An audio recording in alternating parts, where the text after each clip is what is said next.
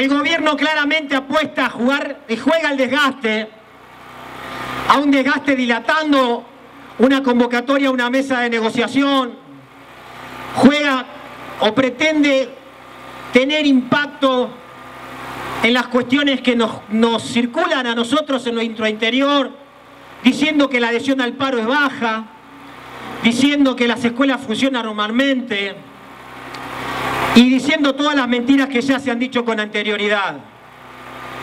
Si el gobierno tuviese la información de que esto es así, ni siquiera hablaría de nuestro conflicto. ¿Qué necesidad hay de hablar de lo que no existe? ¿Por qué habla si el paro es tan bajo? ¿Por qué habla si las escuelas funcionan con tanta normalidad? Hablan porque lo que está pasando es que florece un conflicto que se oculta cuando los medios no hablan del reclamo de los maestros y que está latente, que es el ajuste y en este caso el ajuste en educación.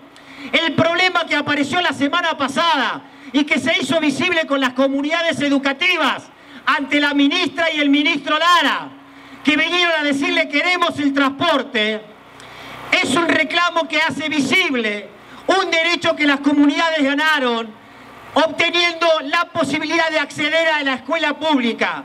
No es un transporte por el transporte mismo, es la posibilidad y el acceso al derecho a la educación pública y a poder ser personas con igualdad de oportunidades y igualdad de posibilidades.